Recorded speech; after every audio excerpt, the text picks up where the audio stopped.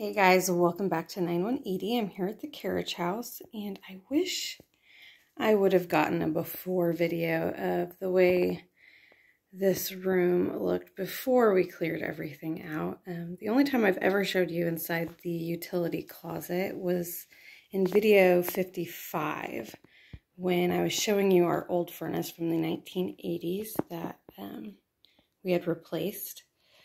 Well, uh, shortly after replacing that furnace, we actually decided to relocate it up into the attic. It used to take up this entire corner here.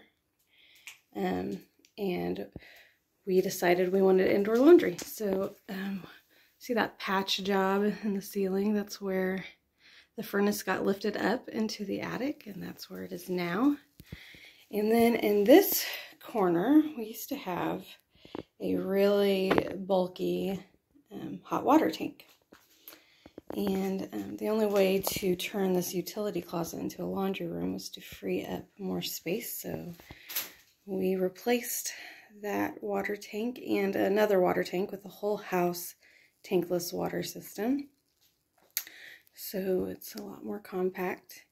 Then we had Delk Plumbing come in, um, run some new plumbing, um, for washer dryer and um, also just new plumbing from the sink that needed to be done.